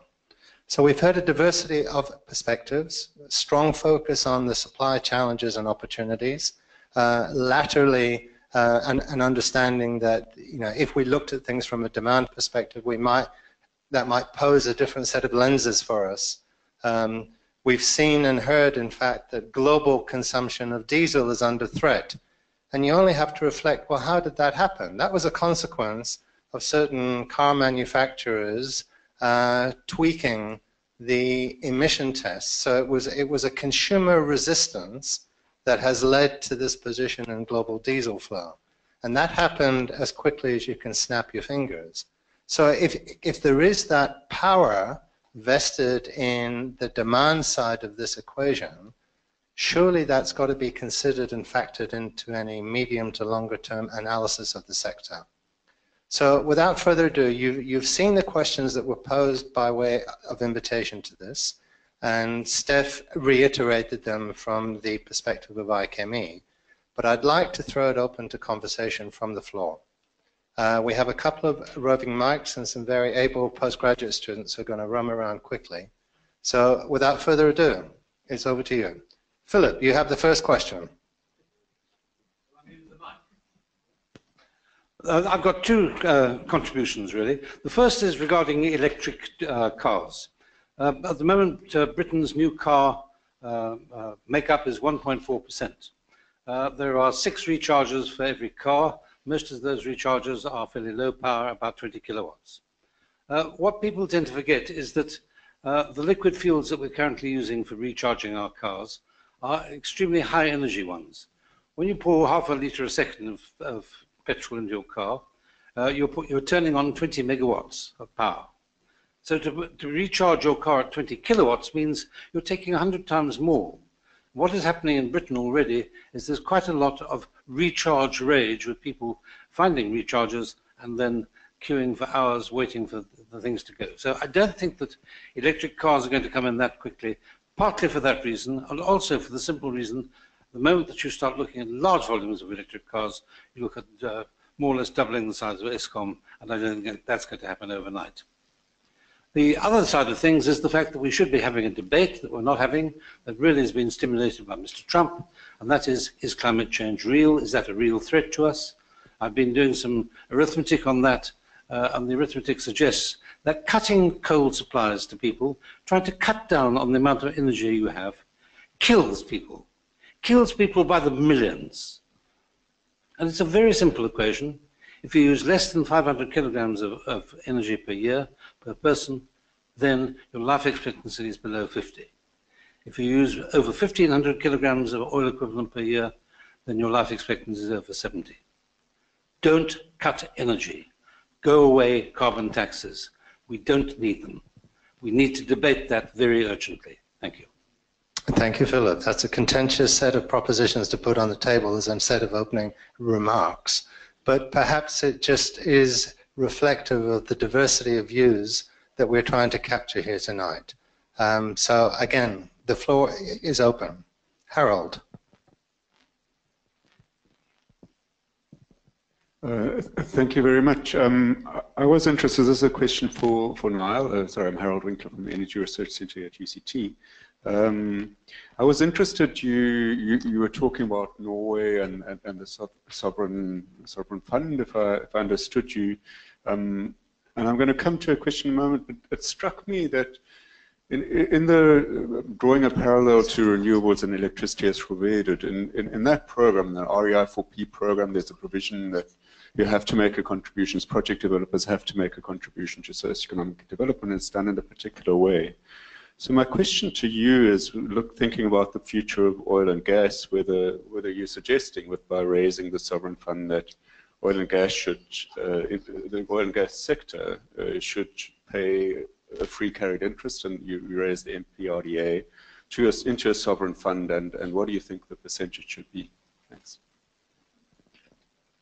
Um, let me start saying I have no idea what that percentage should be. Um, so within uh, the the navigating of the MPRDA, there was initially some discussion around 20% free carry to the states. That is now being modified to carry in the in the proposed amendment, which has not yet been signed into law, which provides the opportunity for some of the investors' cost, currently stated as at production, but perhaps that would come in, into earlier cost as well, to be recovered in, in some mechanism to be developed. Now, I can't tell you what, I don't have a proposal or an answer on whether it should be half of that or 5% of that. And my comments are really driven by, as you look around the world, oil and gas can bring a lot of wealth. It doesn't in and of itself distribute that wealth well across the population equitably, it doesn't necessarily distribute opportunity uh, well. And I think that now is the time to be thinking about what the policy instruments need to be to do that.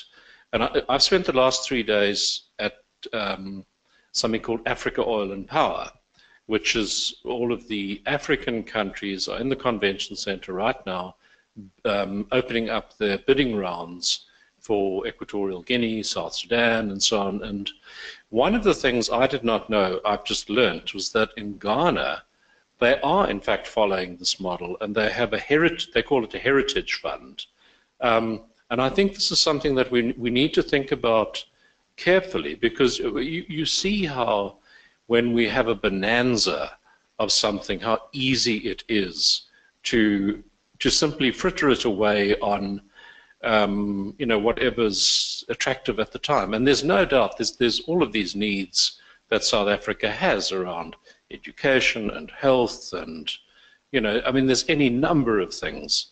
Um, but I think it, it, it's a wise discussion to start having now that if there is in fact oil and gas, that there is a way to warehouse some of that to ensure there's a legacy for future generations.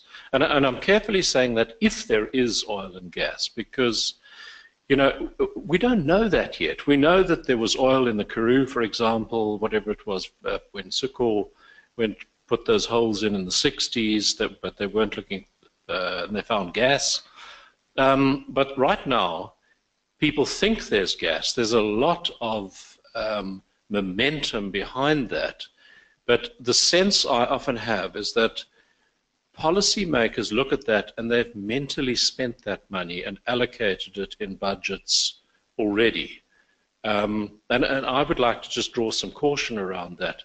Until we have some exploration holes that go down into the ground, all the modeling in the world counts for nothing. We have to have empirical, relevant South African data and use the data on which to make decisions. Um, so I hope that's something of an answer, but um, I, am not brave enough to, to venture a percentage. I'd like it to be large, though. Thank you, Niall. I'd like to be fair and take in some of the questions that have been posed by our webinar participants this evening. And I'd like to start with two that are focused on the state and role and opportunities of carbon capture and storage. And I'm going to ask Steph if he wouldn't mind addressing those. So those are questions from Siggy Drews and Rajashri Bagley. So it's basically what is the state of CCS and why have we not talked about it as an effective mitigation strategy for this sector? Uh, what for the for oil and gas? Okay, so um, uh, carbon capture and storage uh, is a, is uh, one of the the topic areas for the uh, IChemE Energy Centre to look into, um, and as we all know, um, there have been some uh, rather challenging issues for for CCS. The the the hope was for, by this stage, rather large-scale use of CCS to decarbonise point sources of CO2 emissions, particularly from coal-fired power stations. Um, but the technology has been rather stillborn, really, um, and that's mainly because of cost. So, uh, despite um, a lot of research going on into how to reduce the energy penalty of of the mainly the capture part of um, of CCS. Uh, we haven't really got very far, um, and um, uh, governments around the world, particularly the UK, have eventually pulled out of of the funding of these projects, and the private sector uh, won't do this without a considerable investment from from um, from government. So we're sort of at a, uh, an impasse. There are some projects, a few, um, but these are all tied to with um, enhanced oil recovery to to provide the economics of making it worthwhile. And, and then you have this conundrum where you're using carbon capture to remove CO2 uh, from power stations uh, to produce more oil for use in transport, which then gives you more CO2. So you have this um, strange dichotomy. So um, uh, we haven't really talked about, and that's mainly from coal, of course. Um, uh, you can use it for gas-fired power stations, um, and, uh, and and there the efficiency is a bit higher because of, of cleaner um, uh, flue gases. Uh, it's it's it's not it's easy it's it's well known how to capture CO2, but it's just difficult from very dirty flue gas, which is typical from from coal-fired power stations. So it's not something that we normally would consider with oil, um, but of course it is part of the of the um, considerations for for, for decarbonization of, the, of fossil fuels. Um, uh, my own view is, is that uh, we've rather missed the boat with CCS, actually, and, and that it's probably um, too late now to, to think of it as a serious um, carbon mitigation technology. Um, probably 40 years too late. So uh, I think it's actually been rather distraction uh, for us. Um, so, uh, and uh, it, my view is that in the future of CCS is rather smaller scale than the kind of predictions that we see in the IEA um, roadmaps. Um, uh, th there will be various point sources where it could be economical, but I think we, we really need to move um, into other forms of decarbonisation, such as the electric vehicles or um, the, the use of gas as a transition fuel. And if I may just add to that, I think it's important to reflect on the whole fuel life cycle and where the CO2 emissions are coming from. It's very easy to look at carbon capture and storage from point source emissions. So from the refineries themselves or from the Sasol coal to liquids plants, etc. It's a damn sight harder to do that when you're looking at tailpipe emissions from a car's exhaust or a truck's exhaust. Um, and in South Africa, and forgive me if I've got these numbers kind of wrong, Harold may be able to help me. The transport sector collectively is the second biggest CO2 contributor to the country's footprint. Andrew, you're shaking your head. 10% in total. And could you, sorry, could you, could you tell us what percentage of that is from fuel production versus fuel use? No, that's all just from, that's from the tailpipe. That's from the tailpipe, yeah. yeah. So fuel production, uh, I mean, there's a marginal amount from refineries, but it's primarily Sasol. So in other words, the, the Sasol, Sasol is what makes our, our whole our whole liquid fuel supply sector so massively carbon intensive. Without Sasol, it would it would be quite a small percentage of our. So I think with I think Sasol is so that's about 48 in 2010, and I think the transport sector was about 48 megatons or something of CO2, but Sasol's Secunda is around 60. Yeah, perhaps slightly more. So the and the refineries I think are less than 10. Uh, depending on where they, you know, which ones and where the fuel comes from. But they're not, you know, it's many. Sasol is the anomaly that you know. Yeah, and it's it's interesting again just to keep on this um, this platform about talking about integrated energy planning and policy. We have scenarios that are being advocated by the National Department of Energy uh, that invoke the building of more coal to liquids plants up to 2035 and up to 2050 under certain conditions. And given what we've just heard about the carbon footprint of coal to liquids, you've got to ask whether that makes any sense in terms of this bigger picture of sustainable transport fuels going forward. Anthony, and then Brett, and Philip perhaps again. Thanks, Jim. um, we've been talking about the decarbonisation of transport but one of the transport modes that we haven't actually covered is, is air transport. And that is one that is going to be extremely difficult to decarbonize unless we can go to, to uh, bio, biofuel use and XTLs, clean you know, uh, gas to liquid fuels, for example, would be an, an example, um, a fuel that could be used in those, those circumstances.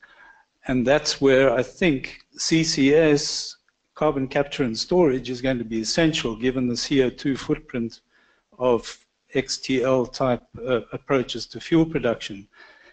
Um, I'm, I'm, curious to know from you, Steph, um, what the price per ton that you're talking about, because there have been some recent quite significant breakthroughs in maybe maybe not you know shooting the lights out, but the recent breakthroughs by Carbon Clean Solutions, bringing bringing it down to 30 tons per um, $30 per ton, which is half of the US DOE's target of $60 a ton.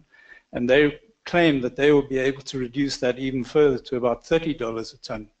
So just, you know, the, the uh, trans, um, air transport is, is an issue for me.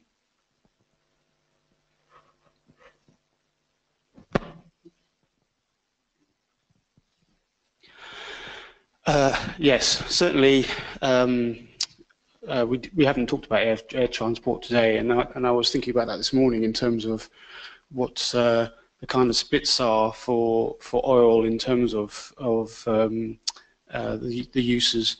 Um, um, gasoline, of course, is, is by far the, the biggest. Aviation is only a, it's a small amount, but of course, um, uh, air travel is increasing, and, and it's a and it's a, it's, it is a big problem.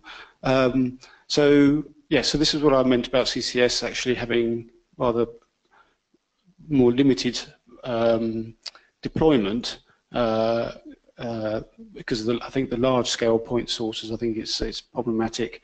Um, uh, I wasn't aware of, of, the the report you've just uh, the study you just told me about, um, and uh, certainly that's obviously starting to become quite quite interesting. But of course, um, you know, coal coal price has gone down as much as, much as oil prices has gone down, and, and um, it's it's extremely cheap to produce um, uh, energy from coal, uh, electricity from coal, um, which does make it problematic when you're going to stick a stick a carbon capture and storage facility on top of existing um, power stations.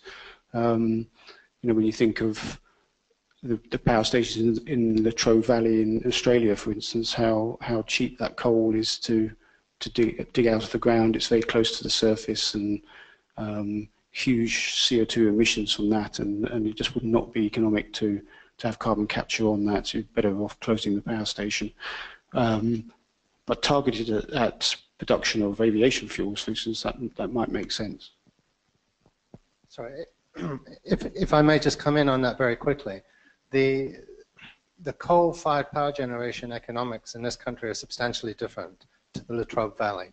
Uh, the levelized cost of these new big coal-fired power plants is roughly double what we're seeing coming in through the renewable energy space.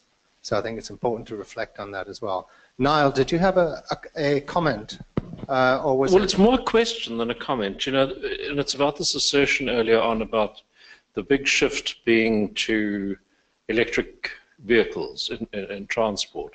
But in the South African context, if your driver is environmental emissions and so on, the simple reality is that 90% of our electricity is coming from coal anyway, so you're getting a coal-fired car.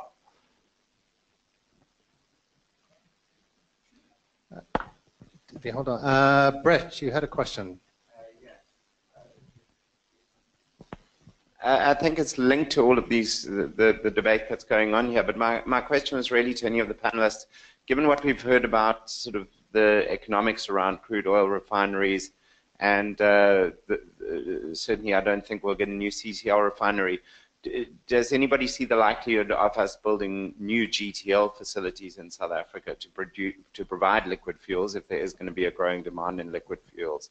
And certainly that has a much better carbon performance than Sasol and, and from what I understand as well, refinery fuels. I don't know what the economics are of, of GTL.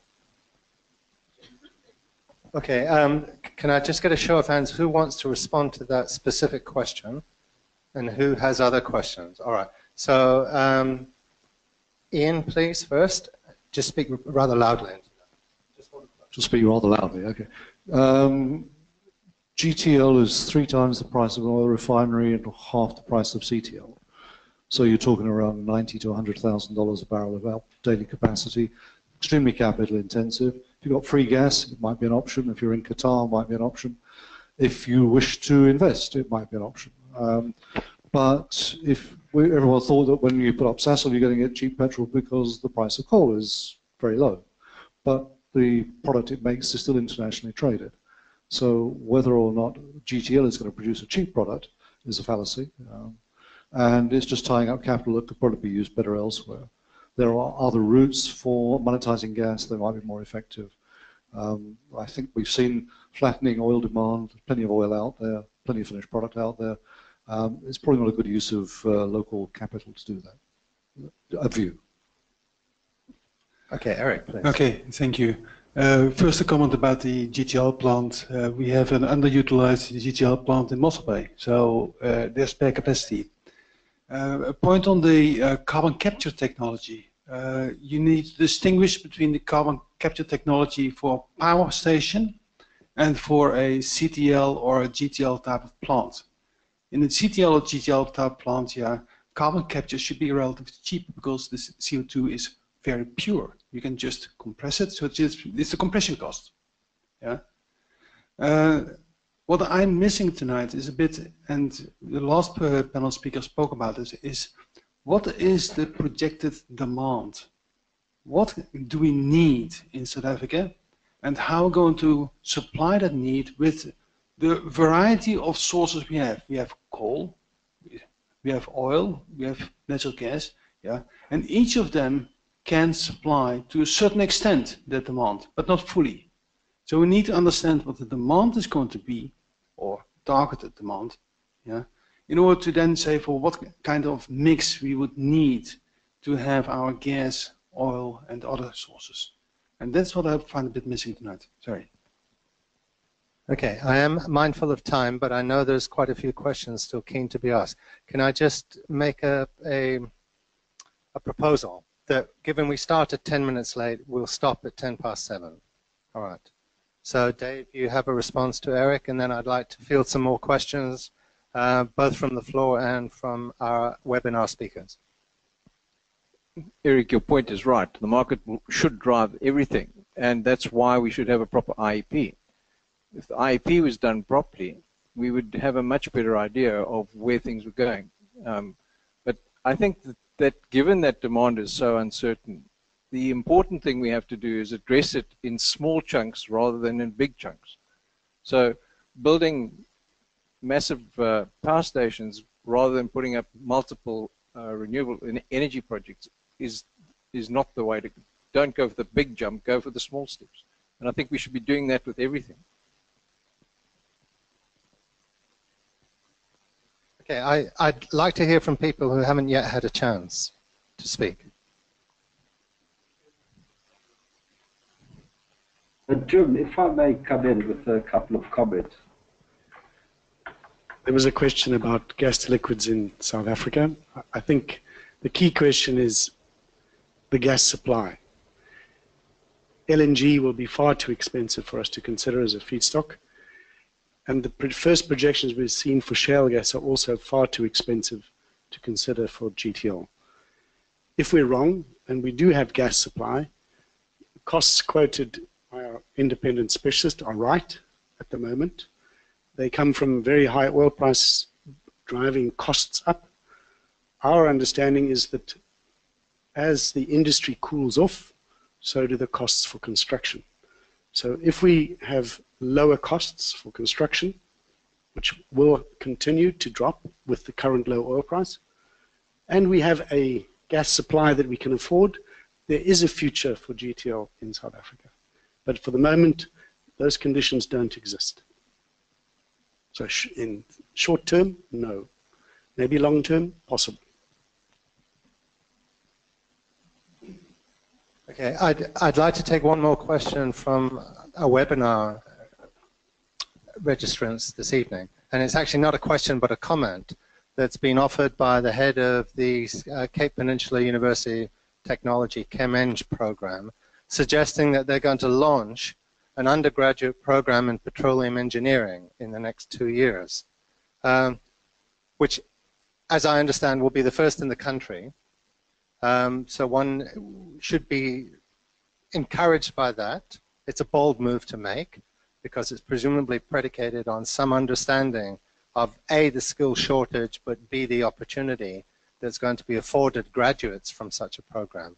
So I flag it here for you just to bear that in mind. And those of you who are active within the sector, I would encourage you to make contact with the CPUT people to see to what extent you can add a contribution that will support them in those endeavors. Just hold on, Gareth, if you don't mind. Um, Niall, you had your hand up again. All good? Okay. I'm, I'm coming to you, Philip, but I am surprised that we haven't heard more of a strong voice about the climate change imperative, the environmental performance of the sector as a whole, um, and what the ramifications of our, let's not call it apathy, but let's call it a, a level of disengagement, what that might do for the regional performance of the sector, and if we envision, envision a low carbon future going forward, what the implications are then for the sector uh, more broadly. And I'd love to hear someone have a go at that from the floor.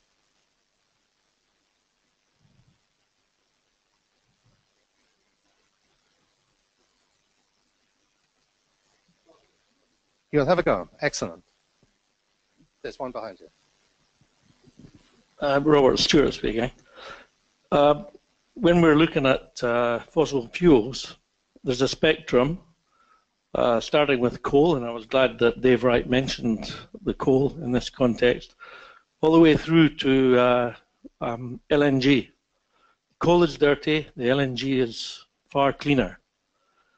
So where we should actually be moving, uh, and, and, on the oil, let's talk about uh, Canadian tar sands. They're dirty. So we should be looking in uh, the use of our resources to move away from the the dirty uh, fossil fuels to the clean. Now, even in terms of oil refining, that means that we should be uh, moving towards um, light and less sulfurous feedstock. That's the that, that's the point I want to make. Just uh, let's move away from coal and heavy uh, residue-containing crude oils to relatively clean end of that spectrum. I'm going to ask someone from the refining sector to have a produce a response to that, whether that opportunity is consistent with the way we operate our existing refineries? Um, Bob has insight to crude, the price of crude. What he's saying is not wrong, but that comes at a cost. Uh, we can migrate from uh, tar sands or Venezuelan crude all the way through to condensates out of the North Sea all that changes is the price. The market is extremely efficient. The suppliers are out there. Um, it moves up and down on a daily basis, as we have seen. Um, if there is a price built into emissions, or CO2 emissions, or SO2 emissions, or management, or the cost of hydrogen to upgrade those into better quality liquid fuels, it's priced into the refiners, it's priced into the, the marketplace. Um, there is always a price at which you can sell a rubbish crude. There is always a price that a consumer will stop buying a good quality crude. So left to its own devices, it will sort itself out. And unless someone intervenes to mandate a difference, uh, then we're going to get um, what the market delivers, I think.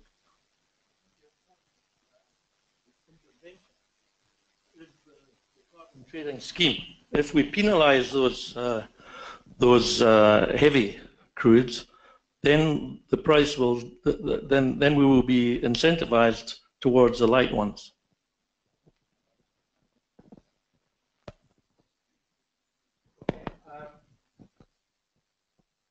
Philip, I'm, I'm, I'm questioning. Am I going to give you the last voice of the evening or not?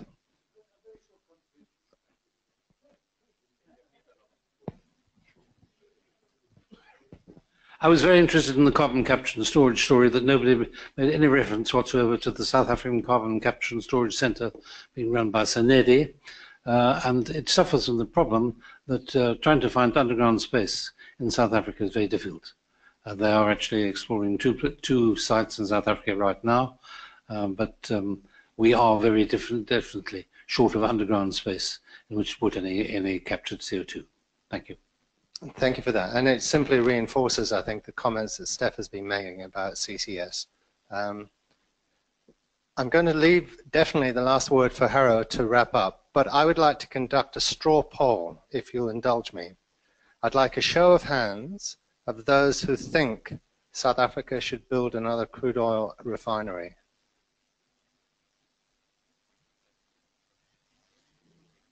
Okay, for those of you on the webinar side, that's one hand out of, out of our total assembled audience here. Right. Oh. You mean you've got an answer for that as well? Please do. Okay, we had two uh, earlier speakers. Um, one said that there's no case for an oil refinery, and he meant an economic case. The other person said that uh, oil refineries are really just an essential uh, piece of equipment to monetize crude, and that's correct. that, that is correct. But uh, refineries are not built to get economic return, typically, not nowadays anyway. They're built for strategic reasons. Now, if we don't, if, if, if the one speaker said, let's just depend on the surplus of uh, finished products that are available in the market. Most of those, most of that surplus is actually by design residing in the in the Middle East. Now, I would not want South Africa to be dependent on clean production from the Middle East, finished product products from the Middle East. So that's why I think we should have at least an agreed high percentage of our uh, demand from our own refineries. It's an interesting view because in my, from my perspective, I don't believe in South Africa's energy planning processes there are overt considerations of geopolitical dimensions to anything. Um, yes. So with that, we did say we would go for two hours. We did start 10 minutes late, but I would like to hand back to Professor von Blottnitz and to thank you personally for your considered attention and contribution. Well, thank you very much, everybody, for your contributions. Um, the future of oil and gas, I think, and I've been typing notes all along, uh, is very uncertain in the global space. Uh, that uncertainty for us uh, in South Africa and Southern Africa plays out in different ways. Um, it's very good to have that discussion here at the university um, because uh, what what we have to do is to teach the next generation of engineers not the answers, but the ways to think about getting to answers in that uncertainty. So I want to thank all of those who made contributions to that. Uh, that you came out uh, either in person here or uh, online to to share your views, your wisdom, uh, and for us to get that. We'll deliberate on that with the colleagues who are here. Um, and we'll we'll thread that into the teaching that we do. For myself, that means tomorrow, first thing up, uh, I think in this venue or one down, with the fourth year class on what climate change means for the profession, and with the uh, pleasure of having our visiting scholar, Prof. Simons, to to spend an hour with with our fourth year class on on exactly that question as well. And I'm sure he's taken a bit more out of this evening as well to take back into the international space uh, so uh, that's also our honor to contribute to the, that, that global discussion. So thank you very much, everybody. We've got some catering next door, but Jim may want to say it's, something about the details there. Uh, two things, really. By way of conclusion, the Institution of Chemical Engineers, as I said, started this global conversation. This will feed into that for sure. So there will be a summary report. And for those of you still listening on in the webinar, those of you whose questions we were not able to answer here during the session, they will be answered as part of that report. Um, so I would encourage you to uh, keep tabs on the IChemE website and follow that conversation as it moves forward. And definitely the last point this evening is we would like you to stick around if you've got the time, come and share some refreshments with us in the venue directly across the, the corridor here. And thank you once again. Take care.